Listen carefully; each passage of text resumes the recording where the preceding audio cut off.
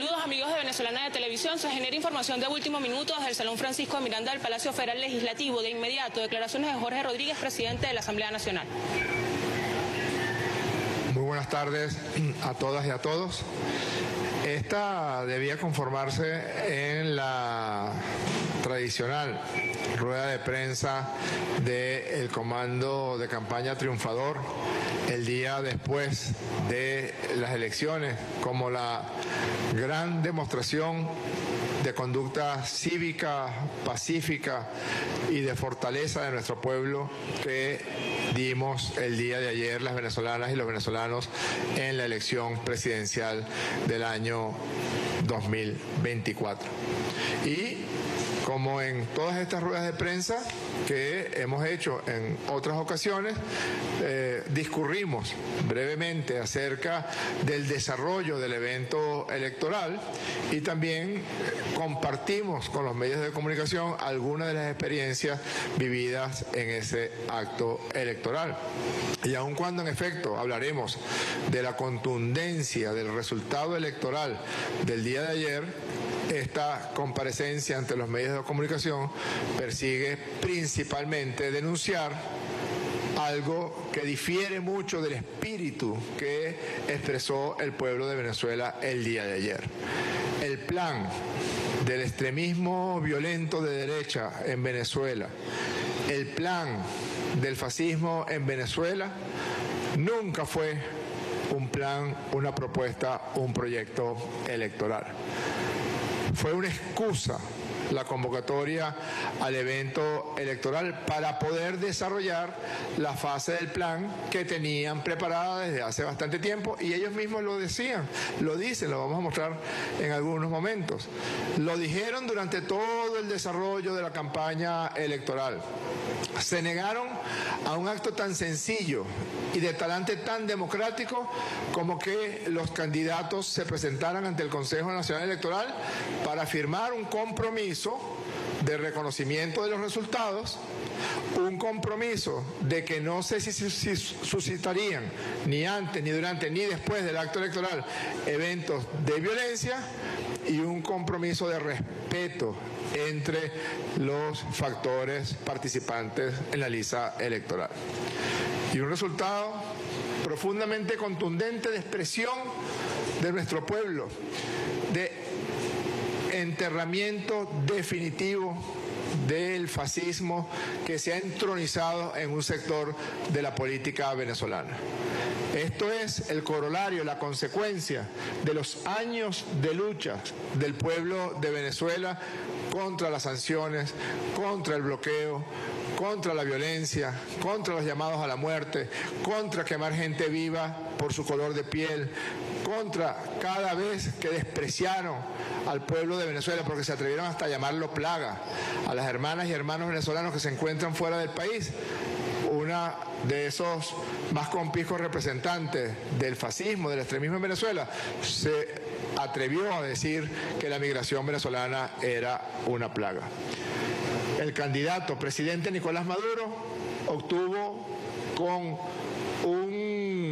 una transmisión que fue la del día de anoche de 80%, 5.150.092 votos para un 51,2%. Y allí hasta Elon Musk se atrevió a decir de una manera que uno pensaría que gente que tiene tal nivel, tal imperio como el que tiene, imperio absolutamente hegemónico, donde no entran las leyes, donde no entran los países, donde no entran las naciones, eso cree él, con Venezuela no. Cometen unos errores tan estúpidos, tan infantiles. Por ejemplo, el día de ayer, Telesur publicó infograma donde colocaba el resultado del presidente Maduro 51,20, el resultado del candidato que llegó segundo 44,2 y luego, según el boletín emitido por el Consejo Nacional Electoral, menciona otros candidatos 4,6. Telesur me imagino yo que a efectos de hacer más gráfica la, respuesta, colocó a todos los candidatos de, eh, que llegaron en, tercero, cuarto, quinto lugar, etcétera, y les puso abajo como referencia 4,6%. Y se le ocurrió a este señor Elon Musk sumar, entonces decir, 51,20 más 44,2 más 4,6 más 4,6 más 4,6 da 112. Aquí está la prueba del fraude. Mostró una foto de unas cajas diciendo, aquí está la prueba del fraude. Señor Musk, en Venezuela las elecciones son automatizadas, no hay cajas. En Venezuela la gente vota en unas máquinas de votación, van después, como no, en efecto, a una caja de resguardo. Pero esto lo pongo como un ejemplo del nivel de imbecilidad al que pueden llegar personas que uno diría, bueno, pero y como este señor tiene el imperio que tiene, si recurre a argumentos tan tontos como ese al que llegaron.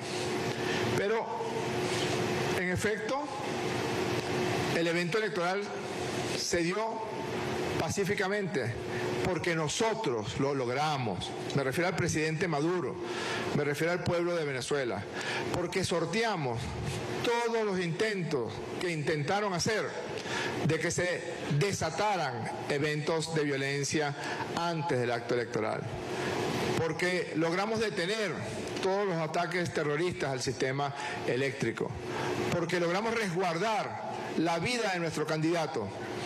Suena bárbaro y absurdo, pero es así. Teníamos que cada día sentarnos a realizar planes para evitar que nuestro candidato fuera agredido de manera atroz.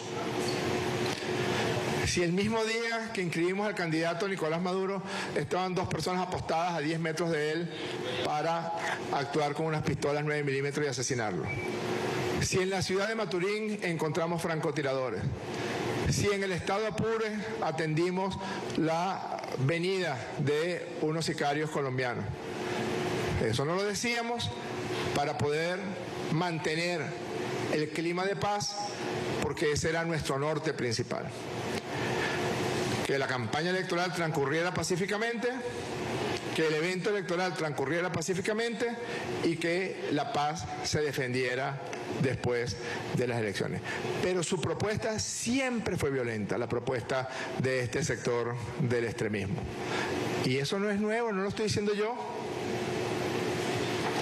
29 de julio de 2018, señora María Corina Machado, Sabemos que el régimen solo saldrá por la fuerza. Le nombra la Fuerza Armada Nacional Bolivariana. Ayer le dieron, su lección de Fuerza Armada Nacional Bolivariana con la dignidad de una Guardia Nacional que actuó como actúa la gente digna de este pueblo. María Corina Machado, es necesaria una intervención para lograr la libertad en Venezuela. Es necesaria una intervención, que vengan, que nos invadan, que nos asesinen. Es necesaria para poder entronizar a esta gentuza que por más apellido que tenga y por más dinero que tenga, no dejan de ser sino criminales. Me parece una decisión acertada que se comiencen las conversaciones entre el embajador Vecchio y el Comando Sur. El embajador Vecchio ese no es ningún embajador, ese es un delincuente que vive en Estados Unidos y que el único fin que persiguió mientras estuvo allí enviado por estos fue buscar la manera de que Donald Trump invadiera el sagrado territorio de la República Bolivariana de Venezuela. Y lo dicen. ¿O es que se reunían Carlos Vecchio y el Comando Sur para discutir acerca de la ropa de la temporada invierno, primavera o verano?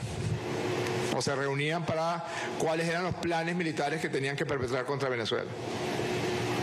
Aquí le está agradeciendo a este canalla que fue embajador, que fue canciller de embajador, perdón, de Duque, del delincuente de Duque en la OEA, agradeciéndole porque este canalla solicitó la aplicación del TIAR, es decir, un ejército multilateral que invadiera Venezuela. Y como ese, no los canso con tantos ejemplos. ¿Por qué digo todo esto? Porque el verdadero plan es el que están tratando de ejecutar en estas horas. Ya esto no se trata de unas elecciones, como nos dijo en una reunión a presidente Maduro y a mí, un amigo de un país de nuestro continente, las elecciones son procesos. Un proceso que arranca con la inscripción de los candidatos, la campaña electoral, el acto comicial y luego el organismo electoral da un dictamen, emite un comunicado, emite un boletín y ese proceso se cierra con la proclamación del candidato ganador. Es un proceso, pero queda claro que la intención era otra. ¿Qué hicieron? Dijeron que no iban a reconocerlo, dijeron hace una semana, que no iban a reconocer el resultado del Consejo Nacional Electoral, sino lo que dijeran sus propias actas. Curioso, ¿no? Que dijeran que iban a reconocer solamente lo que dijeran sus propias actas. Y ayer nos enteramos de, de cuál era su verdadero propósito. Atacaron el centro de transmisiones del Consejo Nacional Electoral, atacaron la página web del Consejo Nacional Electoral. Millones de ataques ha recibido hasta ahora la página web del Consejo Nacional Electoral, pero atacaron específicamente los centros que tiene el Consejo Nacional Electoral por donde pasan los datos con los resultados y las actas de votación. Impidieron que pasara esa valiosa información para poder totalizar y poder proclamar un ganador. ¿Por qué? Para poder imponer la especie de sus actas de allí lo que dijeron de que solo reconocerían sus actas. Y el plan que ellos tenían era impedir que ayer el Consejo Nacional Electoral pudiera emitir su boletín. Si hubieran logrado ese que era su plan principal, entonces la violencia que están intentando sembrar hoy lo hubieran hecho el día de ayer y hubieran salido, no, nosotros tenemos nuestras propias actas. Y cuando empiezan a preguntarle a los periodistas, bueno, y si tienen las actas, ¿por qué no las muestran? Salió este señor, siempre se me olvida el nombre, González, González Urrutia, a decir tenemos el 20% de las actas. Después dijo, tenemos el 30%. No, tenemos el 15%. Sale otro y dice, tenemos el 25%. Sale la señora esta, que además es muy mentirosa, y dice, tenemos el 100% de las actas. ¿A quién le creemos si dos personas en el mismo podio dijeron en un lapso de 30 minutos cuatro porcentajes distintos de actas que tienen? A esta hora, me imagino, que deben estar inventando patrañas para poder sembrarlas ante los medios de comunicación internacionales para que Elon Musk se las amplifique en el éter de sus mentiras en las redes sociales y para que los, los gobiernos que son en última instancia, o un gobierno que es en última instancia su jefe, pues reproduzca, reproduzca y reproduzca y amplifique esa mentira. Cuando en cualquier país del planeta único boletín y el único resultado que pueda o deba respetarse es el que emite el Consejo Nacional Electoral. De allí eso de que solo le pararemos a las actas. El Consejo Nacional Electoral logró, logró la transmisión de los resultados, se mantiene ahorita el hackeo brutal para impedir que el 100% de las actas de votación puedan ser transmitidas ante el Consejo Nacional Electoral. ¿Para qué? Para hacer lo mismo que hizo Capriles en el año 2013, llamar a la gente a la calle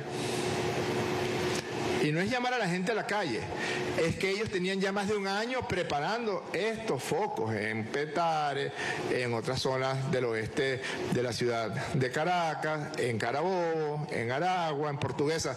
Ya tenían más de un año preparando elementos delincuenciales gracias a que el gobierno del presidente Maduro desactivó a las grandes bandas que actuaban en el territorio nacional, entonces no han podido desatar la furia de la violencia que estaban planificando, porque se le desactivaron a quienes ellos habían contratado, al Coqui, al niño guerrero, al otro y al otro.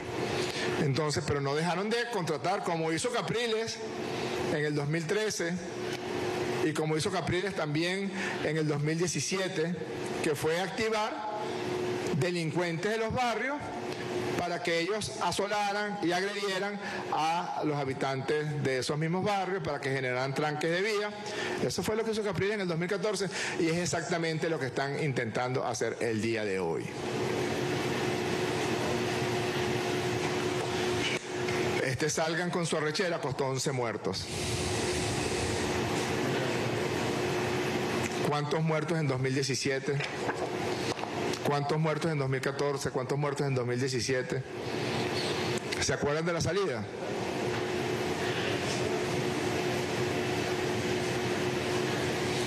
La salida estaba planificada para desarrollar la violencia. El día de las elecciones de alcaldes y alcaldesas de diciembre del año 2013.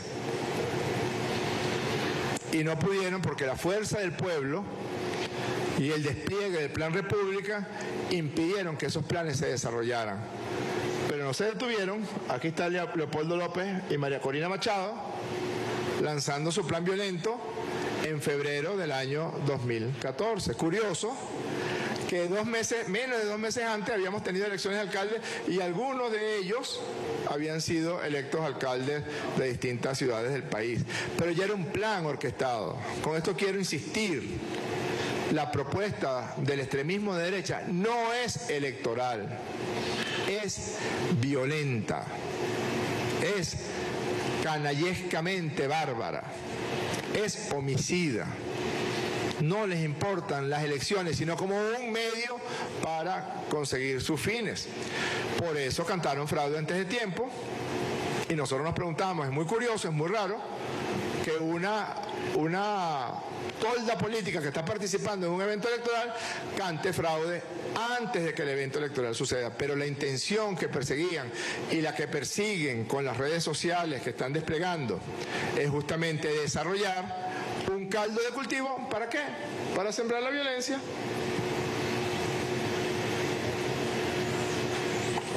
el golpe del 30 de abril del año 2019, la autoproclamación de este imbécil llamado Juan Guaidó, es el mismo patrón. Ahora están en la misma. Ahora, como lo mencionó, lo llamó el presidente electo Nicolás Maduro, el plan Guaidó 2.0, porque ahora cuentan con Elon Musk, cuentan con más redes sociales, cuentan con más formas de atacar la tranquilidad y la paz de la población. Su proyecto no es electoral. El fascismo no recurre a las elecciones, sino como un fin para tratar de imponer su propuesta violenta. Y eso es así desde Hitler para acá, pasando por Mussolini. Su propuesta es violencia, es maltrato, es agresión. Y es lo que están haciendo el día de hoy. Quemaron la esfera de Soto en el distribuidor Altamira, levantan alcantarillas queman contenedores de basura y todo eso acompañado, por supuesto, de las redes sociales y se consiguieron una excusa en el evento electoral y ni siquiera es muy original.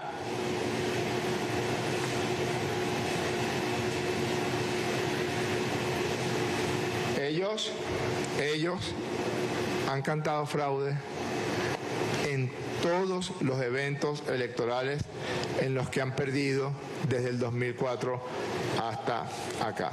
No es ni siquiera original. 15 de agosto del 2004, Hugo Chávez les gana 60 a 40. El llamado referendo revocatorio, fraude. Mañana mostramos las pruebas, nunca mostramos las pruebas. Violencia, quizás pocos lo recuerden, pero durante los días 15, 16, 17, 18 de agosto hubo violencia en las calles de Caracas. El asesinato del fiscal digno Danilo Anderson tiene que ver con los planes de estos grupos durante el referendo revocatorio y posterior al referendo revocatorio. Manuel Rosales reconoció parcialmente la derrota que sufrió ante Chávez en el año 2006 y lo execraron en el mismo acto, en la misma rueda de prensa donde él estaba reconociendo el resultado electoral. Leopoldo López dijo que las elecciones de alcalde del 2014 eran un plebiscito contra Maduro. Maduro se los gana y lanzan en febrero del 2014 la, eh, lo que ellos llamaron la salida. Es decir, Para ellos las elecciones no son otra cosa que una oportunidad para la violencia. Y es lo que están intentando hacer en este momento y les decimos, no lo vamos a permitir. No lo va a permitir el presidente Nicolás Maduro, no lo van a permitir los poderes públicos del Estado venezolano y sobre todo no lo va a permitir el pueblo de Venezuela. Por eso convocamos a todo nuestro pueblo a grandes marchas el día de mañana a las 2 de la tarde, desde Petare hasta Miraflores, desde Katia hasta Miraflores, desde La Vega hasta Miraflores, desde el Valle hasta Miraflores, para celebrar nuestra victoria, pero sobre todo para defender la paz de la República. Esta vez tampoco lo van a lograr. Y convocamos todas las fuerzas del pueblo revolucionario venezolano a que hagan grandes marchas en sus ciudades, en sus estados. Ha sido una campaña electoral caracterizada por el intercambio, por el encuentro de nueve candidatos con sus seguidores. El otro estaba organizando la fuerza de choque para el día después. En el día después por más que nos nieguen los medios de comunicación y nos nieguen ustedes, en el día después nosotros también existimos y somos la mayoría. Y por eso nos vamos a la calle a defender la paz hasta de usted, señora, que vive en el cafetal, hasta de usted, señor, que vive en la Florida. Estamos defendiendo su derecho a la paz. Usted tiene derecho a la paz. Y quizás el candidato por el que usted votó es el que está organizando junto con su jefa, junto con su dueña, todos estos actos de violencia que han intentado desatar como foco en la ciudad capital y en otras ciudades del país. Pero no lo vamos a permitir van a ser desactivados con el uso de los recursos que la Constitución y las leyes nos permiten. Y mañana para la calle. Mañana seremos por miles, desde todos los cuatro puntos cardinales que salieron el día del cierre de campaña para plenar todas las avenidas de esta capital, nos vamos para Miraflores a defender nuestro derecho a la vida, nuestro derecho a la libertad, y sobre todo nuestro derecho a elegir y a defender el resultado de esa elección. Aquí no va a venir ningún plutócrata, aquí no va a venir ninguna hijita de papá o ningún hijito de papá a tratar de imponer un resultado que no se expresó en las máquinas de votación. Aquí no va a venir ningún Elon Musk ni ningún gobierno extranjero a imponer un resultado que no sea el que se dio en libérrimos comicios el pueblo de Venezuela. Entonces ya queda claro que el plan que ustedes tenían no era un plan electoral. Y lo sabíamos. Y aún así, con todas las sanciones económicas en contra del pueblo de Venezuela, y con el bloqueo brutal en nuestra economía, y a pesar del proceso de recuperación económica que nosotros hemos tenido, no queda duda de que ha sido duro y doloroso las agresiones a las que sometieron a nuestro pueblo. De eso no queda duda porque ese es el plan siempre, maltratar, agredir, sacar provecho del daño, sacar provecho de su maldad. Pues no se equivocaron. Otra vez. Nosotros nos vamos para la calle a defender este territorio que ustedes odian, a defender la vida de nuestra gente, a defender sobre todo el derecho a la paz el derecho a continuar con la recuperación económica, el derecho a que podamos desarrollar todos los planes que nos permitan recuperar el estado de bienestar y otra vez se van a quedar con los crespos hechos, se lo juro del presidente del Parlamento venezolano, pues quien destacaba que la derecha extremista de nuestro país pues jamás ha tenido un plan electoral. La vía siempre ha sido la violencia y la zozobra en el pueblo venezolano. Ante esto, ha convocado a todas las fuerzas revolucionarias a salir a las calles a defender con alegría la victoria del presidente Nicolás Maduro. Es la información que con ya retornamos el pase al estudio. Adelante.